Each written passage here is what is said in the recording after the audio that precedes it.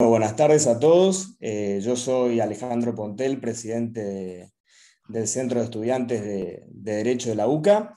Eh, y bueno, saludo atentamente a todos los presentes y realmente agradezco eh, enormemente mi agradecimiento para todos los que están, para todos los que se anotaron y para todos los que se sumaron a esta actividad.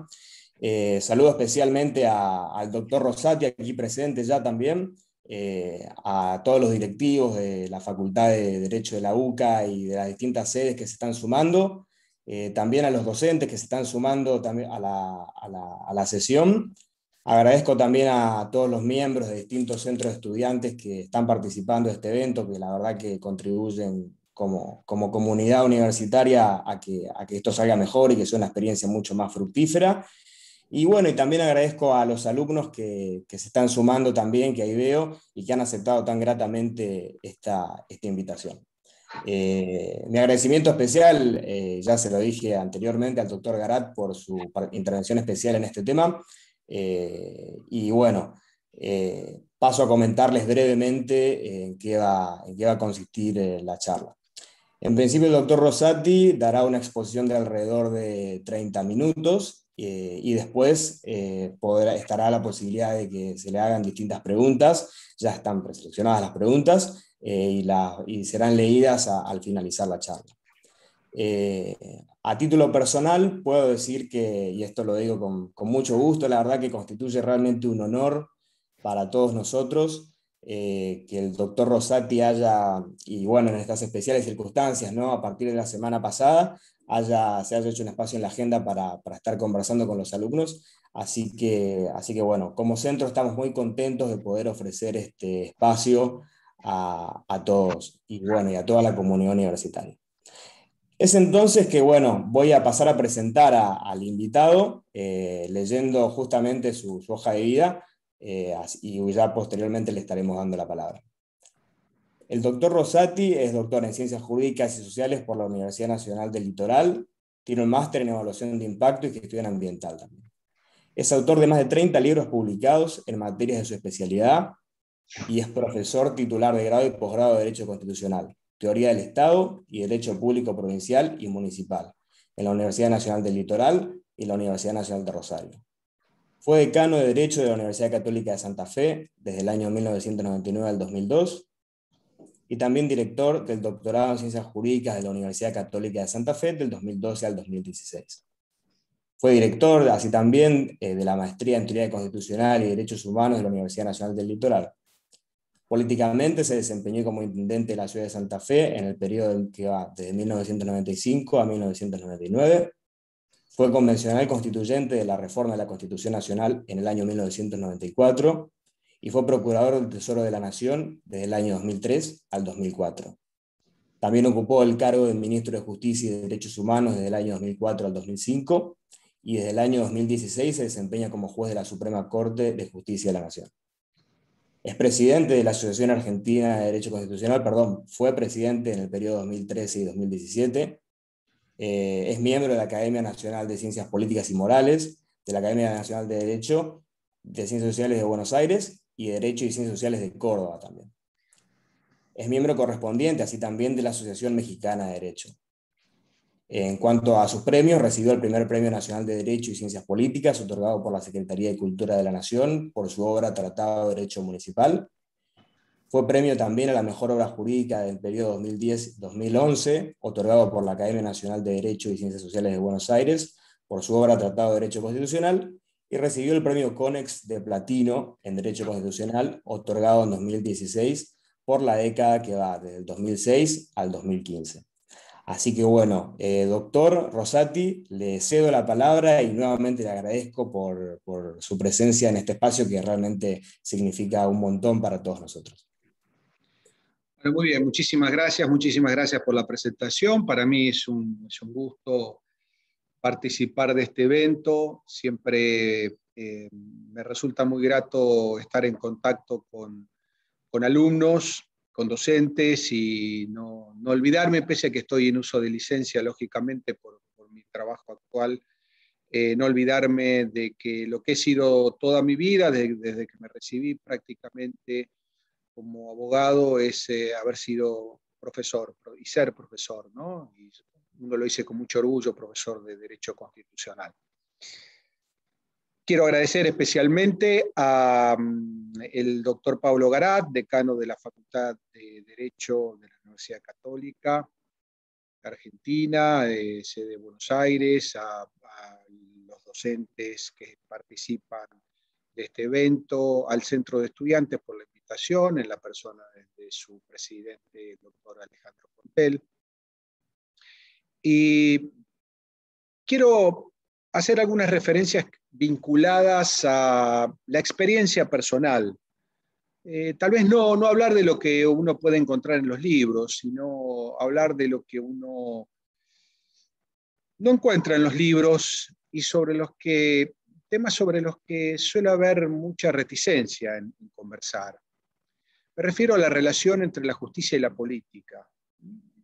Yo creo que es un tema muy actual, siempre actual, no solo en la República Argentina, en distintos países del mundo, ocurren cosas más o menos parecidas, y en nuestro país también, ¿no es cierto? Entonces, desde una perspectiva, digamos, propia de la teoría del Estado y propia del derecho constitucional, abonada con la experiencia personal, yo estuve, como aquí se dijo, como procurador del Tesoro y como ministro de Justicia, es decir, de un lado, y ahora estoy del otro lado, como, como juez de la Corte, es decir, que viví las dos experiencias, ¿no es cierto? La experiencia de la función pública desde la política, la experiencia de, eh, de la justicia, ¿no es cierto? Y lo que uno advierte inicialmente es eh, una cierta tensión ¿eh? histórica tensión entre el mundo de la política y el mundo de la justicia. Una tensión que yo creo que es en gran medida eh, inevitable, porque hay ritmos distintos, hay expectativas distintas, hay presupuestos distintos, y entonces eso, eso hace que, se genere una cierta incomprensión entre ambos eh, universos, por decirlo de alguna forma. En los últimos años, no solamente en nuestro país, yo diría en todos los países latinoamericanos, pero también en muchos otros países del mundo, uno advierte que hay una creciente conflictividad social y que esa conflictividad social, al no ser resuelta previo a un tribunal de justicia, desemboca en una mayor judiciabilidad. Es decir, estamos perdiendo en gran medida la capacidad de resolver conflictos intersubjetivos antes de llegar al tribunal. Y es importante tomar nota de esto, porque muchas veces la intolerancia, la falta de cultura cívica y otros factores hacen que muchos conflictos normales, naturales, no sean conjurados, no sean resueltos, no sean eh, eh, solucionados en el marco mismo de la sociedad, en un contexto de confraternidad, de convivencia. Esto hace que el conflicto llegue al Tribunal de Justicia, es decir, mayor conflictividad y mayor judiciabilidad. Y esta mayor judiciabilidad de los conflictos sociales suscita, y en algunos casos resucita algunas viejas preguntas el límite entre lo político y lo jurídico, por ejemplo, sobre el que vamos a decir algo, la posibilidad real que tiene el Poder Judicial de resolver algunos conflictos concretos, la necesidad de tener una agenda distinta, novedosa, en materia procesal, en materia sustantiva, para resolver conflictos tradicionalmente no resueltos por los tribunales de justicia el límite de comprensión que tiene la política respecto de la judiciabilidad de algunos temas que antes no llegaban a los tribunales. Todo esto genera un panorama problemático, eh, lo cual no, significa este, que no pueda ser solucionado, pero que requiere una nueva actitud o una actitud inteligente, reflexiva, por parte de toda la sociedad la que está dentro del Poder Judicial, la que está fuera del Poder Judicial, la que plantea un conflicto, la que no plantea un conflicto, pero espera que los conflictos que otros plantean puedan ser resueltos en tiempo y forma por los tribunales de justicia. Inicialmente hay que tomar nota que el funcionamiento, las características de funcionamiento, las expectativas del mundo de la política y del mundo de la justicia son diferentes. La justicia, ustedes saben, tiene un funcionamiento atomizado.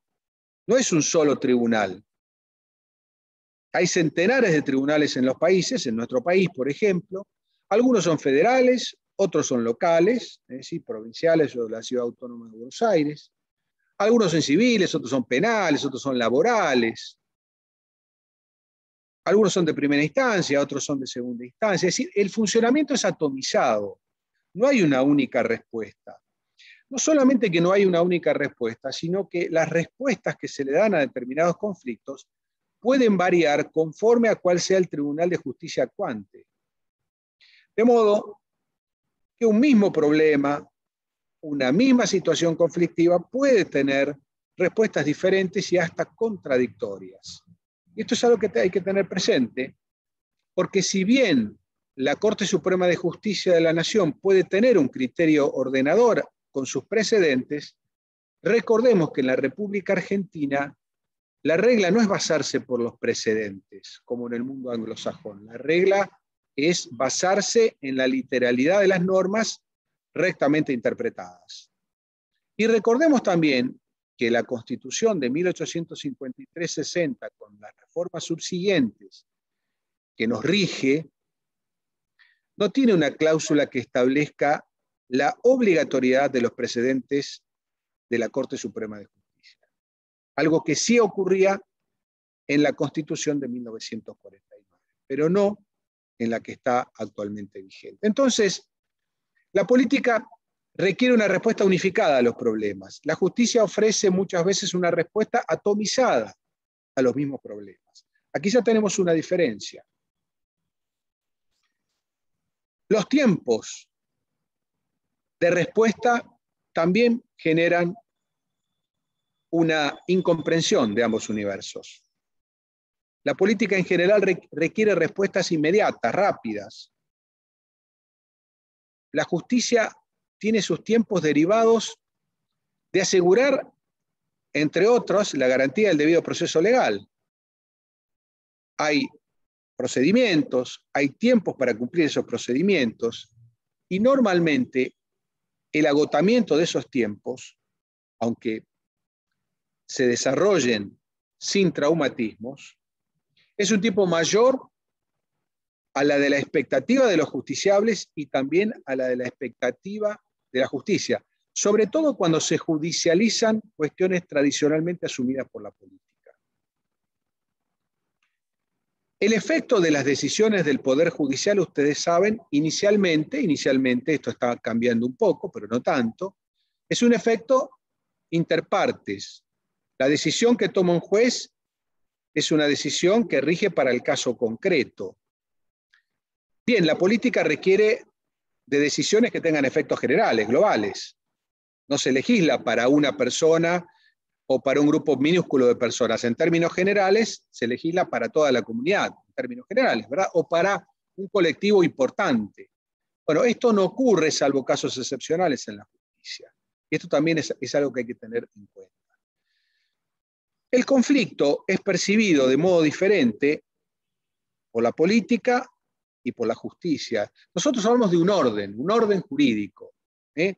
algo que se desordena cuando hay un conflicto. Y lo que hay que hacer, el médico como si fuera, digamos, el juez como si fuera un médico, para decirlo bien, el juez como si fuera un médico tiene que hacer recobrar el orden.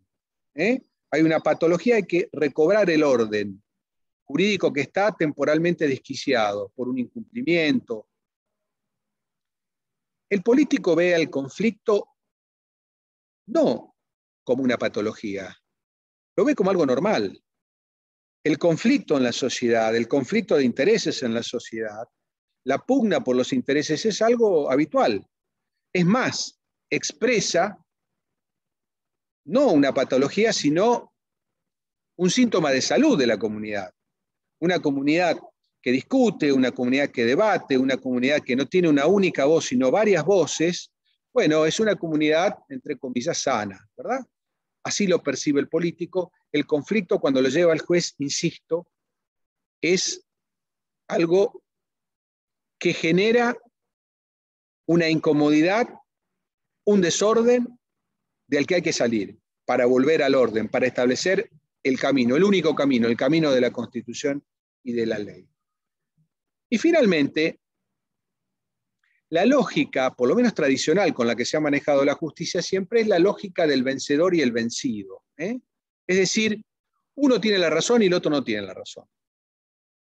O es culpable o es inocente. O es deudor o, no es deudor. ¿eh? O es heredero o no es heredero. Es decir, en principio no hay cabida para dos verdades.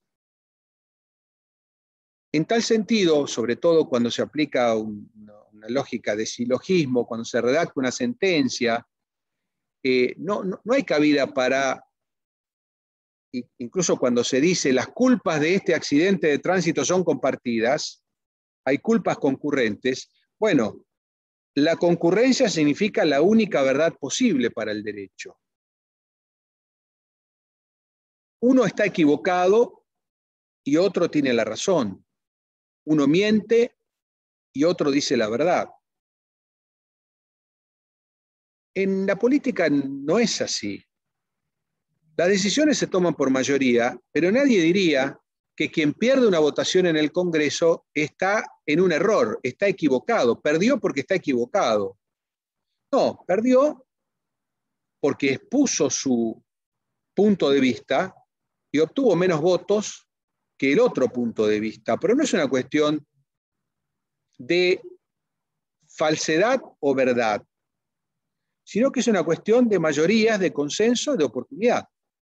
Esto hay que tenerlo presente porque funcionan los paradigmas de modo muy distinto.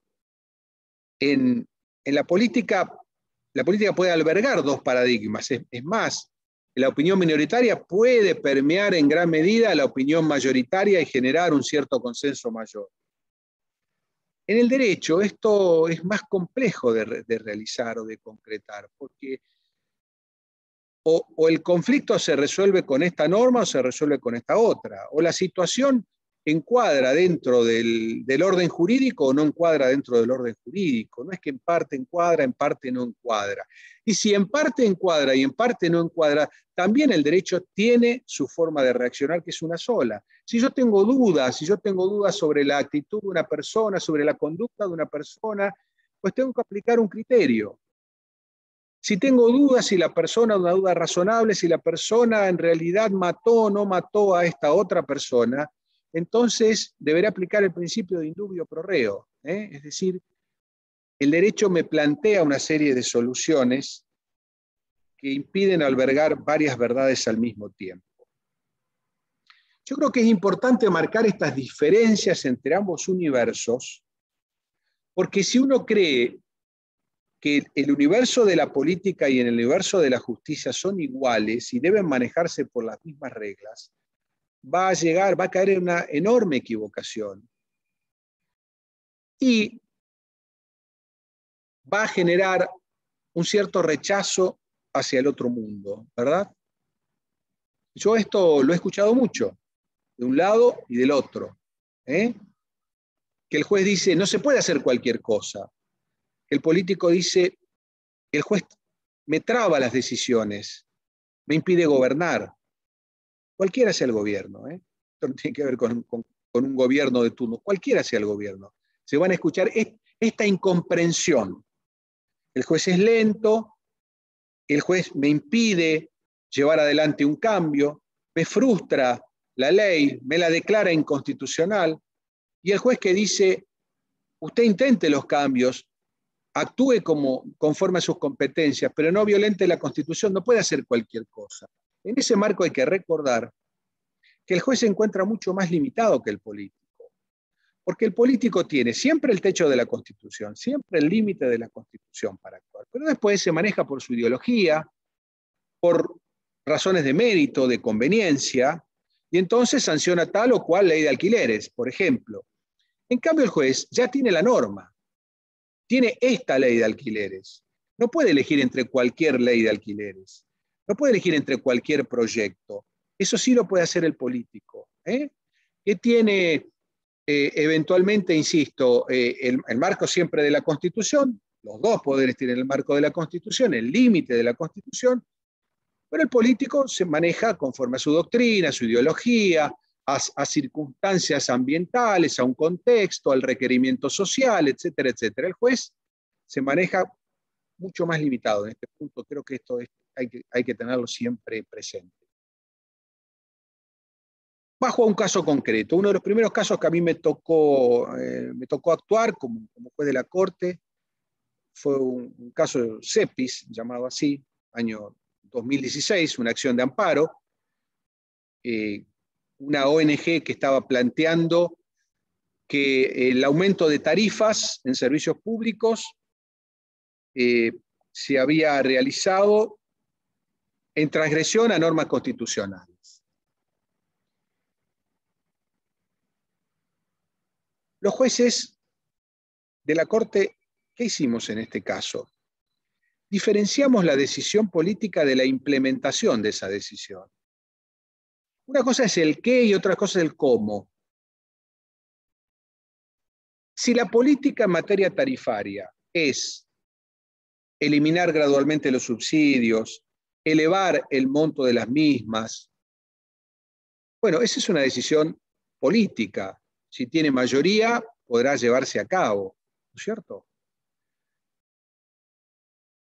los jueces no controlan la politicidad de las decisiones. ¿eh? Pero sí pueden controlar el procedimiento. ¿Pero cómo se llevó adelante? ¿Hubo audiencia pública? No, no hubo audiencia pública. Ah, entonces estamos violentando el artículo 42 de la Constitución. Y esto es lo que dijo la Corte.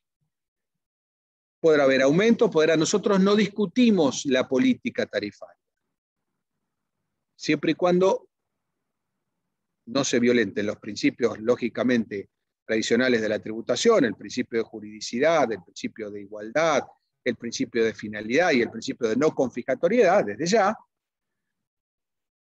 Pero además, mientras se siga el procedimiento, y en este caso ha faltado la audiencia pública. Entonces, sin opinar, cuestionar, ponderar o valorar el qué, sí hicimos eso con el cómo. En su momento, en ese momento, bueno, la decisión fue respaldada por, muchos usuarios, como se imaginarán, y fue cuestionada desde el poder político. Con con este cuestionamiento que yo les digo, que es muy tradicional, es decir, bueno, pero al final no puedo llevar adelante mi política en materia de tarifas de servicios públicos. Y la respuesta es sí, la puedes llevar adelante, respetando las cláusulas constitucionales. ¿eh? Diferenciar el qué y el cómo me parece muy importante para entender de qué forma pueden articular, deben articular estos dos poderes constitucionales que son el poder político, yo digo los poderes representativos directos, ¿no es cierto? O sea, el poder legislativo y el poder ejecutivo y el poder judicial. No obstante, desde el Poder Judicial ya hace mucho tiempo que se repara la necesidad, como decimos aquí en la Corte, de abrir la ventana, ¿eh? de escuchar a la sociedad, de hacer que el proceso judicial no sea un proceso clauso, misterioso, sino que sea lo más amplio, lo más abierto posible.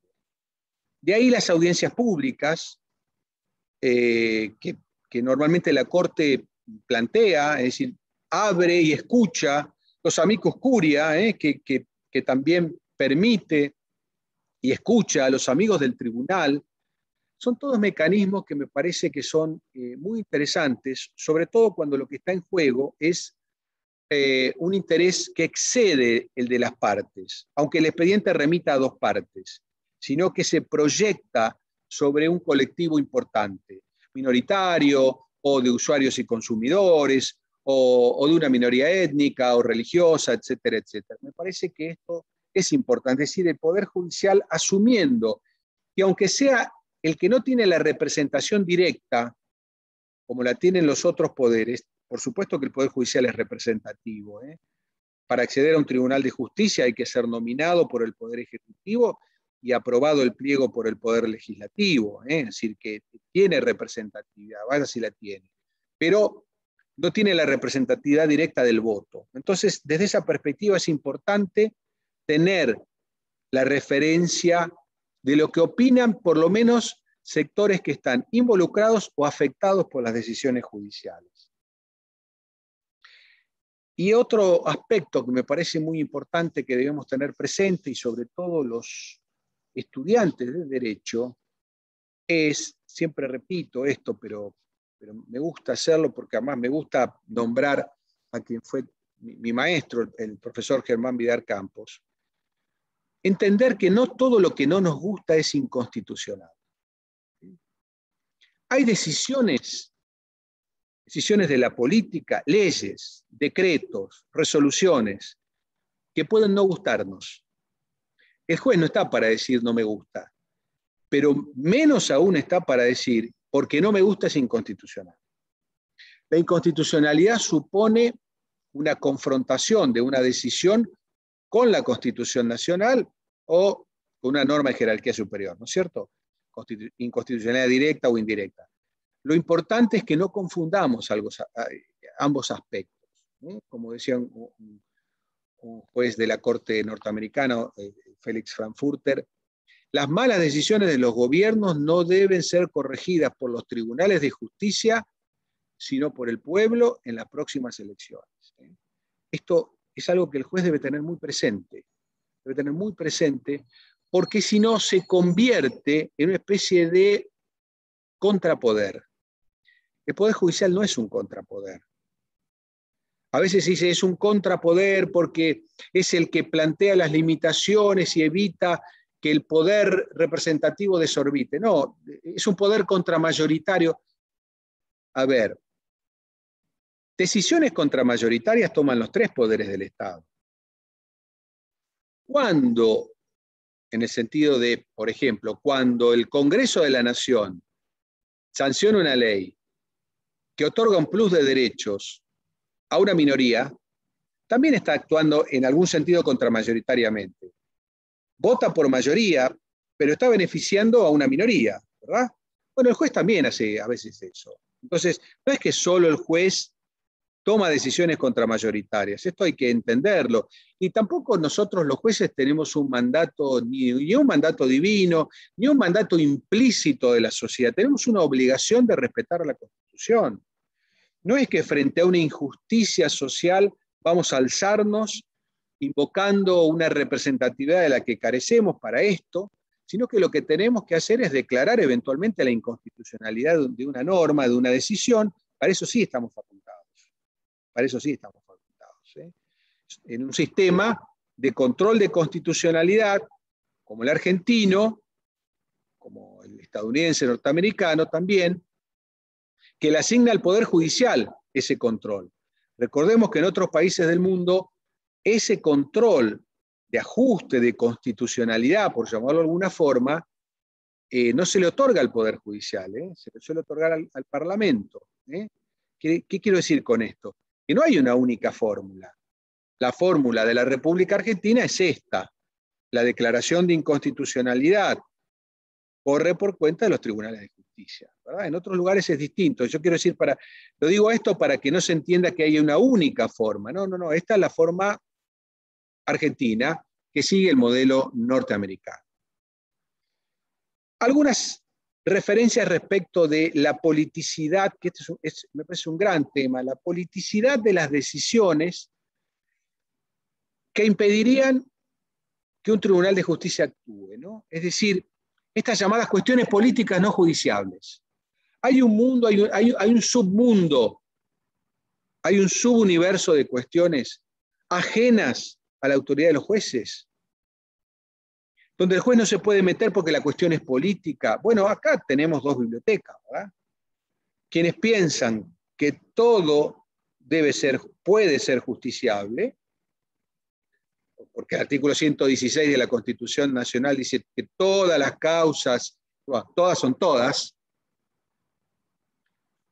entonces no, no habría cuestiones que, se diga son políticas, no, no pueden ser revisadas por los jueces.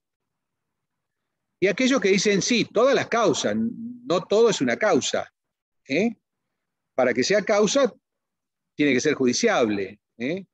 Si yo escribo el himno nacional y lo presento como ante un tribunal de justicia, como si fuera una demanda, en realidad no tengo una causa. No tengo nada. Tengo, un escrito presentado en el tribunal. Eso no es una causa. Entonces, hay quienes dicen, no, no todo lo que se plantea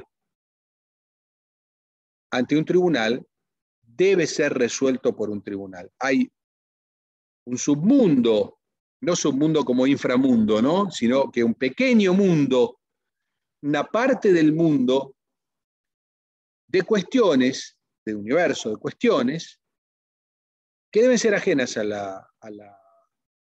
control, al escrutinio judicial, que deben estar reservadas a la prudencia de los decisores políticos. Tradicionalmente, eh, teníamos claro que la declaración del estado de sitio, por ejemplo, es una decisión que no es revisable como tal, como decisión, por el Poder Judicial. Porque ustedes saben, en la declaración del estado de sitio, por ejemplo, una de las causales es la conmoción interna. Bueno, si el Congreso entiende que hay conmoción interna, pues esto no debe ser eh, este, revisado por un tribunal de justicia.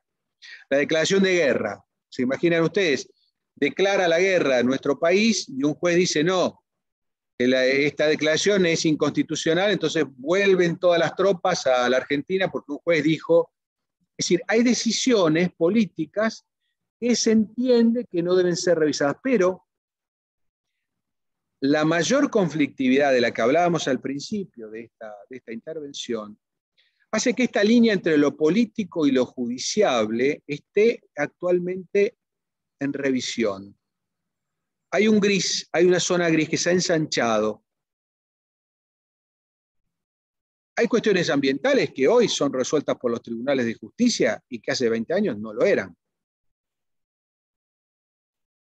Entonces, ¿qué está pasando? Hay cuestiones electorales que hace 30 años o 20 años o 15 años no eran revisadas y hoy son revisadas por los tribunales de justicia hay una demanda social para una mayor revisabilidad de las cuestiones. Esto es cierto. Esto también habla de la crisis de los poderes representativos, que no es de la Argentina ni de ahora, que es de la mayoría de los países del mundo desde hace mucho tiempo. Ahora, hay que tener mucho cuidado con esto, porque el juez lo que no puede hacer es reemplazar al político. ¿eh? Porque hasta en, en las ocasiones en las que el juez dice, por ejemplo, falta una norma regulatoria, hay una inconstitucionalidad por omisión, porque los poderes representativos no reglamentaron algo que la Constitución dice que deben reglamentar. Aún así, lo que no puede hacer el juez es hacer la reglamentación él. La reglamentación la tendrá que hacer el Congreso o el Poder Ejecutivo, ¿se entiende? Es decir, el juez podrá llegar a decir esto está mal, pero lo que no puede decir es hagan esto, que esto es lo que está bien, porque ese esto forma parte de la competencia de los poderes representativos. Entonces también ahí hay un límite. El juez tiene, tiene que tener presente este límite. Muchas veces, sobre todo la Corte en los últimos años, ha exhortado, ha exhortado a a que los poderes representativos cumplan con una obligación, con una manda constitucional que no han cumplido. Y lo ha dicho con estos términos. Y a veces le ha puesto plazos. Y a veces le ha puesto plazos y frente al no cumplimiento de plazos ha estructurado alguna solución, pero lo que no puede hacer es hacer una ley. Esto es imposible. Esto lo tiene que hacer el legislador. ¿Cuándo algo es político y no es justiciable? Muy difícil de responder esto, muy difícil. Yo no tengo la respuesta. Uno ve cada caso concreto y cuando se le plantea eh, el, problema, lo analiza y ve en qué medida es una cuestión que tradicionalmente ha estado ajena o es ajena eh, o es inasequible, digamos, para, para el, Poder Judicial, o, está claramente reservada a los poderes representativos directos.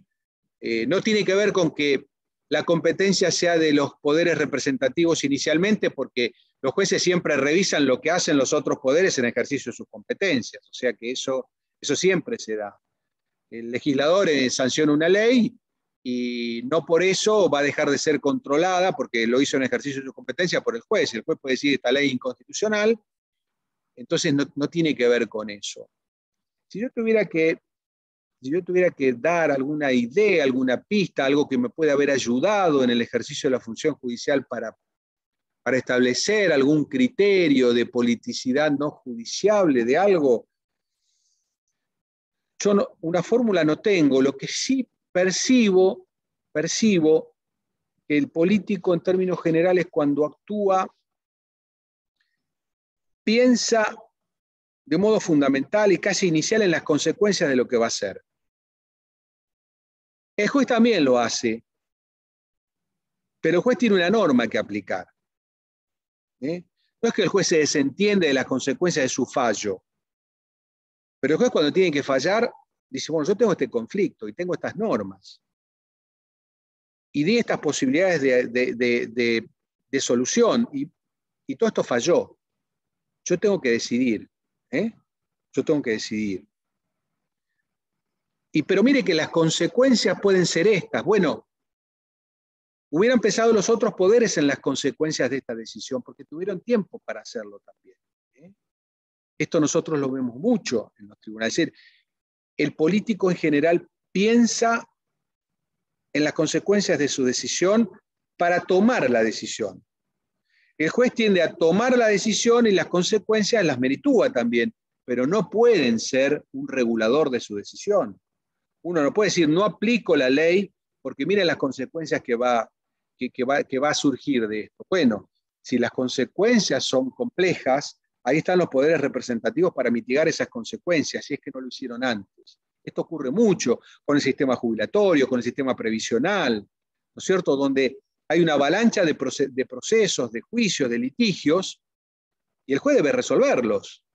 Y muchas veces se escucha, bueno, pero si ustedes sacan esta sentencia, mire que puede colapsar el sistema previsional. Bueno, hay que encontrar alternativas desde la política y los poderes representativos para que no colapse. Lo que no puede hacer el juez es tener un caso 30 años esperando que se muera el jubilado para que se resuelva, digamos, biológicamente y, no actuar. Esto hay que tenerlo muy presente, es decir, cada uno debe cumplir con el rol. Las consecuencias, por supuesto que no le son ajenas al juez, pero el juez está, como decíamos hoy, más encorsetado, más limitado por la Constitución y por la legislación. El que está más libre es el, es el legislador de las leyes anteriores, nunca de la Constitución, nunca de la Constitución, pero sí de las leyes anteriores, las puede derogar. Por conveniencia las puede derogar, por oportunidad, por mérito, y está bien. El juez no la puede derogar, si, salvo, derogar no la puede. En algunas provincias ustedes saben que, eso, puede, eso ocurre bajo determinadas circunstancias pero a nivel federal no deroga una norma, en todo caso la declara inconstitucional, y no, necesariamente toda la norma, sino mejor un artículo de esa norma. ¿eh? No tiene posibilidad derogatoria general como sí tiene un legislador. Y bueno, el juez también resuelve de un modo predominantemente silogístico todavía, es decir, hay una premisa mayor, hay una premisa menor, hay una conclusión. El juez suele actuar así no tanto como, no, yo esto no lo creo tanto como cuando lo estudiaba y lo repetía cuando era alumno, ¿no? Eh, ese esquema kelseniano y, y esto de, bueno, está la premisa mayor, que es la norma, la premisa menor, que, que es el hecho, el hecho se subsume en la norma, ya tengo la consecuencia. No es tan sencillo, porque las normas admiten más de una interpretación, porque yo, digamos, por lo menos en lo personal, no, no, no soy kelseniano, sí admito que Kelsen hizo crecer muchísimo la disciplina jurídica, pero despojar a, la, norma jurídica de, la historia, de la sociedad, de, la cultura, de la economía, me parece, me parece que es un, poco irrealista, ¿no es cierto? Pero en cualquier caso, el juez dice, acá tengo la norma, acá tengo el caso, encuadran la norma y, se maneja. La norma puede ser interpretada, digamos, 10 grados para este lado, 10 grados para este lado, lo que no puede hacer es 180 grados y interpretar lo que quiera, eso, eso no lo puede hacer. El político tiene una percepción más holística, más, más general, más global, no tan silogística. Se maneja con mayor amplitud. Siempre que respete la Constitución, bueno, puede tener, puede ir a un capitalismo eh, con una presencia del Estado mayor o con una presencia del Estado menor, eh, con una presencia del mercado mayor o con una presencia del mercado menor, con un régimen tributario este, más o menos eh, progresivo, puede optar. el juez no, el juez tiene la norma y tiene, que manejarse con esa. Finalmente, para ir terminando, no excederme de los minutos este, que nos hemos comprometido a ocupar. Ustedes que estudian Derecho, bueno, la expectativa es que sean, que sean abogados. Y cuando sean abogados van a estar en contacto con la ciencia jurídica, probablemente también con la ciencia política. Eh, yo creo que es muy importante que se comprenda que son percepciones diferentes de la realidad. No necesariamente opuestas, no, son diferentes. Y esto hay que comprenderlo y no asustarse de esto, no asustarse de eh, sino tratar de comprender al otro, ¿no? de comprender al otro, así como, como decimos siempre, hay que tratar de comprender al otro, de entender al otro, aunque no compartamos su criterio, hay que tratar de entender al otro, hay que entender el otro universo. Y si son hombres de derecho y son jueces el día de mañana, o ejercen la profesión el día de mañana, o asesoran el día de mañana, y a lo mejor asesoran a algún político el día de mañana, tengan presente esta circunstancia. ¿eh? Cada uno debe manejarse dentro de su andarivel. Cuando el, cuando el juez juega a ser político, termina siendo un mal político y cuando el político judicializa un tema que puede resolver, después no debe quejarse de la resolución judicial del problema que él no pudo resolver, ¿verdad? Eh, estas son, son, son temas que me parece muy actuales y yo he querido darles una, una perspectiva que, como les decía al principio, no se encuentra en los libros, pero que sí tiene que ver con el ejercicio cotidiano de esta actividad. Y cuando se estudia derecho, y sobre todo en, la institución que ustedes estudian, donde el derecho lo estudian un derecho vivo, no un derecho muerto de, solamente de texto y de, y precedentes, sino un, derecho que, tiene una perspectiva espiritualista, eh, creo que tienen que tener presente siempre esta circunstancia. El juez no puede decir cualquier cosa en cualquier circunstancia. Esto está, es claro que no pero sí tiene que ser una persona que esté en contacto con la realidad, ¿eh? que no esté alejado de la realidad, porque es una persona que también sufre y padece la realidad como cualquier otro ciudadano. Yo dejaría aquí esta exposición y con todo gusto, si ustedes eh, tienen preguntas, este, estoy presto para responder. Perfecto, doctor. Eh, muchísimas gracias por esa exposición. La verdad que la temática me resultó sumamente interesante a mí y imagino que, al resto de los presentes también. Eh, y como usted dijo, es una temática muy actual. Eh, bueno, leo algunas de las preguntas que nos han dejado en el formulario de inscripción algunos de los alumnos que, aquí están. Hay la, primera que es un poco más teórica y después tenemos otra que es como un poco más humana quizás. Eh, esta dice, ¿cuáles son los puntos institucionales dados por la reforma de 1994 de la Constitución eh, en los que más avanzamos, digamos? El saldo positivo podría ser. Bueno, yo en general tiendo a pensar, como fui convencional en el 94, siempre tiendo a pensar en, los que no avanzamos, ¿no? Así que vamos a ver por la, por la positiva ahora en cuáles, en cuáles se avanzó. Bueno, eh, se avanzó, se avanzó y no se avanzó, ¿no? Pero eh, El sistema de designación de jueces es distinto ahora y es mejor que antes. Es mejor que antes. Antes, ustedes saben, el juez era la, voluntad, la nuda voluntad del presidente y el acuerdo del Senado. Ahora hay un proceso de selección previo, está el Consejo de la Magistratura. Eh, es una institución que, como todas las instituciones de nuestro país, como todas, eh, por ahí recibe críticas, como recibe, por supuesto, el, Poder Judicial y, los poderes representativos directos, pero yo creo que ha mejorado sensiblemente el proceso. Hay, hay, selección de jueces, hay ternas, eh, hay incluso en el caso de los jueces de la Corte un proceso de selección, digamos, de, compulsa social previo, ¿eh? De autorregulación y de autolimitación por parte del Poder Ejecutivo. Creo, creo que eso, en eso se ha mejorado. Eh, Eh, el sistema de elección directa de senadores a mí me gusta. Antes la elección era indirecto, por, indirecta por parte de este, las legislaturas provinciales. Eh, a mí me gusta este sistema de elección directa. Me gusta el sistema de elección, por supuesto, directa de presidente y vice. Eh, me gusta, antes era indirecta, por, por un sistema que entendían pocos y que era bastante elitista, típico del siglo XIX, pero me parece que eso, eso, eso es muy bueno. El voto, ustedes saben, se hizo obligatorio en la reforma del 94, a mí eso me gusta. Hay gente que no le gusta, a mí me gusta. Me parece que está muy vinculado con la historia argentina, con la reivindicación de la participación.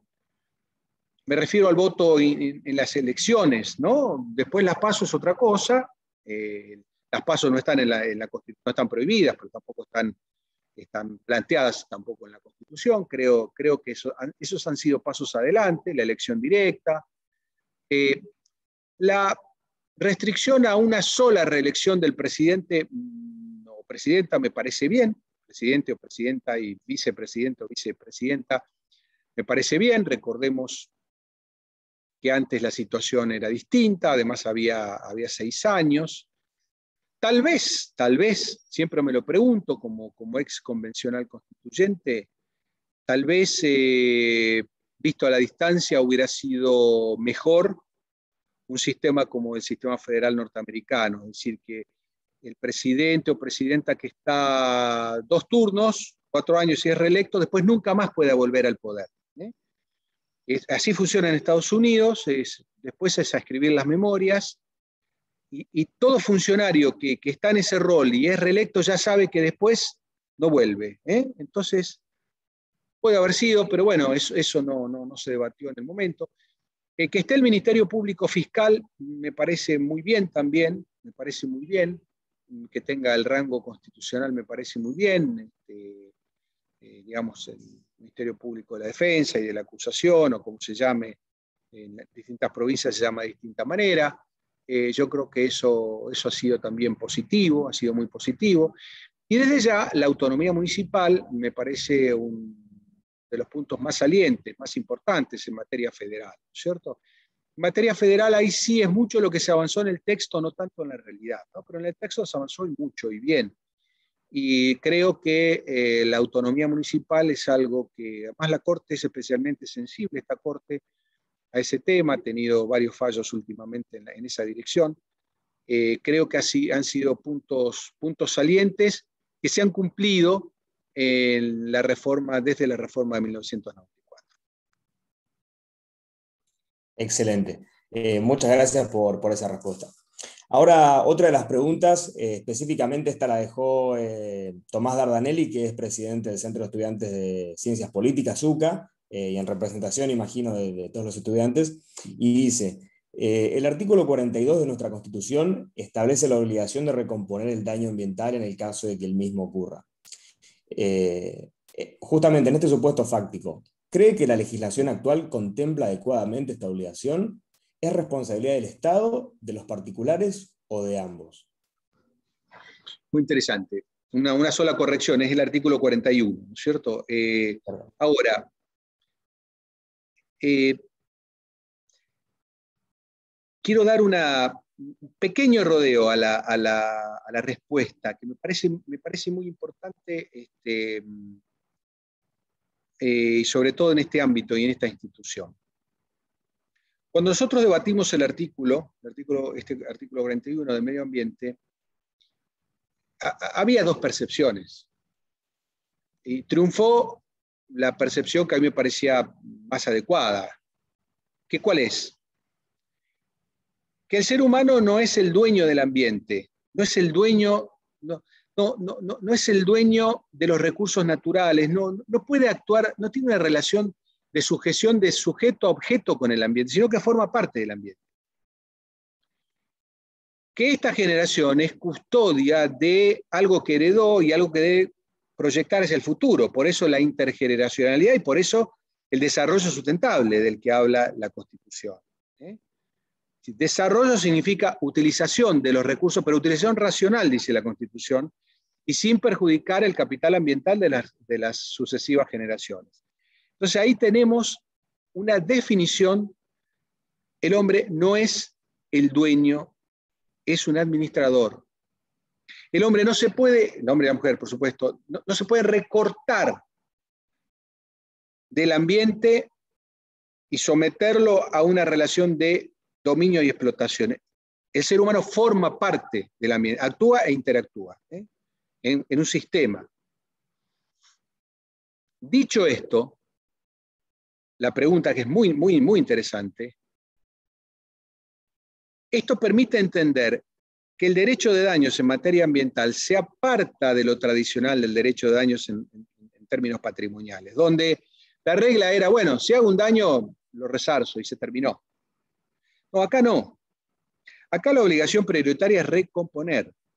Quiere decir, intentar volver al estado previo al de la contaminación, sin perjuicio de indemnizar sin perjuicio de lo, patrimonial, de lo económico, por supuesto. Esto habla de la valiosidad del ambiente. Esto habla de intentar volver a una situación previa. Es decir, que si hay un derrame de petróleo en el mar, más allá de todas las indemnizaciones y todos los daños, lo que hay que hacer es cercar la mancha de petróleo, reducirla hasta la mínima expresión hasta hacerla desaparecer. Y tratar de capturar la fauna empetrolada y tratar de salvarla. Eso es lo que hay que hacer. Después vendrá la indemnización, es otro tema. ¿De quién es la obligación? Dice la pregunta. Bueno, una cosa es de quién es la obligación y otra es quién la puede llevar a cabo, quién tiene la capacidad técnica para hacerlo. ¿eh? La obligación es del que daña, obviamente. La obligación jurídica es del que daña. Ahora, a veces el que daña no tiene la capacidad de recomponer. Tiene la capacidad de financiar la recomposición. ¿eh? Entonces, esa recomposición podrá ser llevada adelante por otro particular que tenga esa capacidad financiada por el, por el responsable del daño o por el Estado.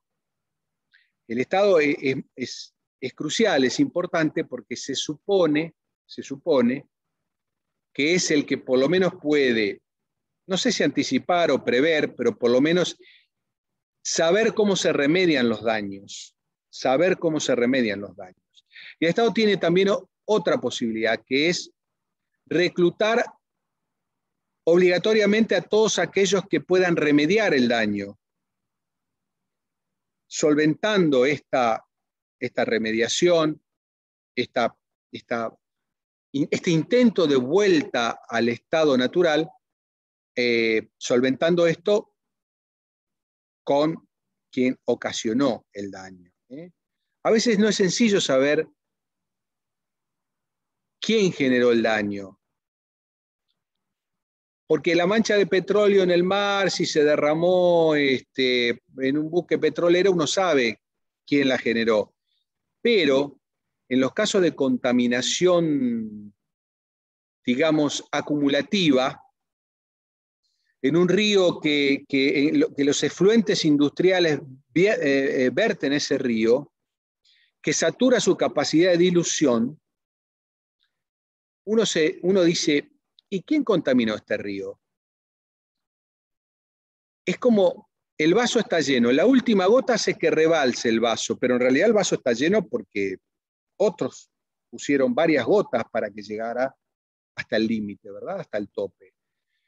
Y esto pudo haber ocurrido muchos años para atrás. Entonces, a veces no es tan sencillo hacerlo para establecer quién es el responsable y quién debe remediar el daño. Pero muy importante tener presente, hay dos principios del derecho ambiental que son diferentes al, y hay que tener una cabeza distinta para, para interpretarlo. Uno es el principio precautorio, que dice, en caso de ignorancia científica, debo abstenerme de realizar algo que pueda perjudicar al ambiente. Y luego, la obligación prioritaria es de recomponer, no es facultativo, es obligatorio recomponer, a veces no se puede, pero lo prioritario es recomponer el daño, no alcanza con indemnizado. Perfecto, muchas gracias por esa respuesta y si le parece ya hacemos la última pregunta que también bueno, se vincula un poco al tema de la conferencia en general. ¿no? Eh, esta es una pregunta que se repitió mucho, debo reconocerlo, en el formulario y que es eh, qué consejo eh, humano quizás, pero en relación con la profesión y con los ideales, nos daría a, los jóvenes estudiantes de Derecho y sobre todo a los que, bueno, me incluyo ya en esta categoría, nos estamos por recibir, ¿no? Bueno, miren, nunca hay que perder la ilusión, ¿no es cierto? Nunca hay que perder la ilusión, la ilusión. Eh, el derecho es una ciencia viva, las injusticias siempre existieron, y bueno, lamentablemente uno tendría que decir que existirán, eh, pero nunca hay que perder la ilusión de que lo que está mal se puede cambiar.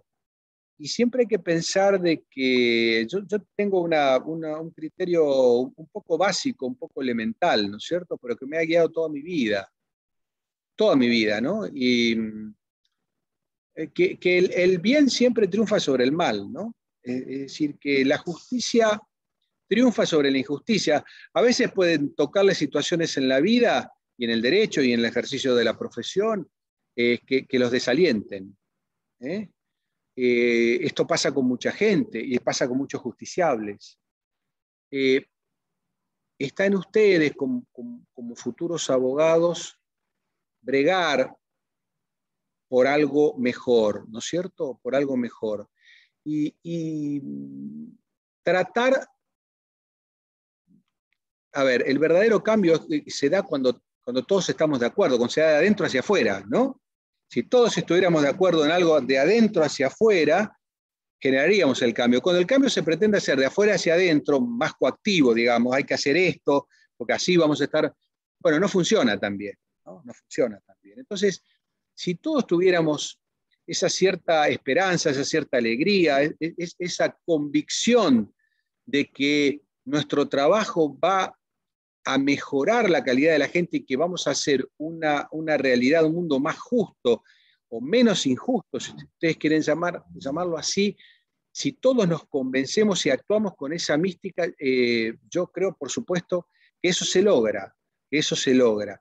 Cuando las sociedades pierden esa convicción, cuando los individuos de la sociedad pierden esa convicción, entonces entramos en la desesperación. Y esto conduce a la justicia por mano propia, ¿no? Si algo, sean ustedes contractualistas, naturalistas, cualquiera sea el, concepto que manejen del origen del Estado, si ustedes pierden la esperanza de que el orden jurídico, de que el derecho es la respuesta civilizada, eh, eh, que en algún momento el Estado expropió nuestra capacidad de venganza para, para poder llevar adelante respuestas eh, lógicas, racionales, humanas, si ustedes pierden esto, bueno, esto, se disgrega, esto se disgrega. Y entonces vamos a la justicia por mano propia, y ahí siempre pierde el que menos tiene, y ahí siempre pierde el que está más eh, desventajado. Y nosotros tenemos, como, hombres de derecho, la obligación de llevar siempre el auxilio al que está peor. Siempre la obligación de llevar el auxilio al que está peor. Eh, ese está peor no significa que no vayamos a defender a una gran empresa. No, por supuesto que sí, porque también la gran empresa genera empleo y porque, es decir, siempre tratar de apostar a lo positivo. Yo creo que si ustedes que además son, son muy jóvenes, este, si ustedes no apuestan a, lo positivo, a, si, si, abandonan eh, eh, cierta actitud que suele, suele, escucharse mucho en la gente grande, de desasosiego, de bueno, yo llegué hasta acá, hice lo que pude, eh, si ustedes tienen una, una, perspectiva diferente y se convencen de adentro hacia afuera, yo creo que, bueno, el derecho es un instrumento, el derecho es un instrumento, la verdad, es un instrumento. Uno lo estudia con pasión, es una ciencia, es todo lo que queramos, pero también es un instrumento para lograr algo que, que, se ha hecho cada vez más difícil, que es lograr una coexistencia, una convivencia pacífica, donde nos respetemos en nuestras diferencias. Y esto es un cometido enorme, es el presupuesto para la felicidad. Y de paso, digamos, con Aristóteles, digamos, la felicidad se logra en la participación, en la participación y el desarrollo se logra en la participación en la cosa pública. ¿eh? Entonces, yo deseo que ustedes puedan participar y mucho en la cosa pública. Ejerzan la profesión de modo privado, estén en la función pública, eh, porque esa es la forma, digamos, de cambiar una realidad que muchas veces se presenta como, angustiante, ni que hablar en este contexto mundial, mundial, que nadie esperaba hace dos años atrás. Ahí dejaría la, explicación. Bueno, muchísimas gracias, doctor, por, sus respuestas, por sus estudiadas respuestas y también por su tiempo acá.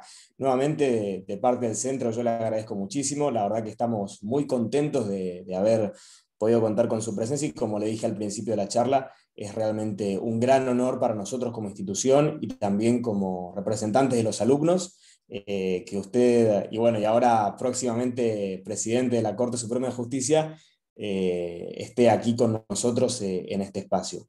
Así que bueno, no le robamos más tiempo y lo despedimos en, esta, en esta instancia y bueno, nuevamente agradecerle y, desearle lo mejor también para, para esta nueva etapa que, institucional que empieza. ¿no?